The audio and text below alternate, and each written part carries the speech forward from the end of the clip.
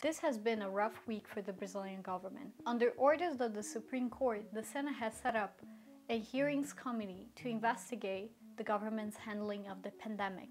Allies of President Jair Bolsonaro fear that the probe could get out of hand and risk laying grounds for a future impeachment. Hi, my name is Caroline Coutinho and I am social media journalist for the Brazilian Report and this is what you need to know about Brazil this week.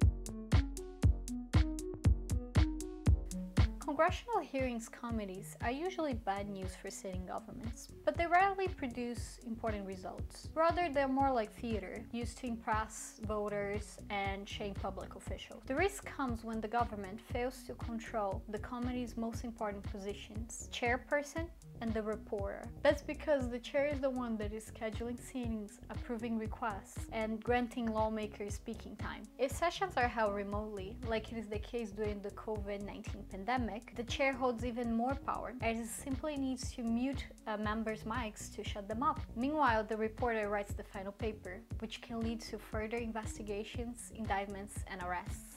Over the past few decades, governments have excelled in controlling the community's most destructive impacts. The biggest exception is President Fernando Collor in the 90s. That's because he was elected in an anti-establishment platform, which made it hard for him to find coalitions in Congress, which is very similar to what is happening with Jair Bolsonaro today. That's why government allies fear that the COVID-19 hearings could lay some groundwork for Jair Bolsonaro's future impeachment and that's why next week will be a pivotal moment for Brazilian politics. You can follow this and other stories unfold at the Brazilian.report.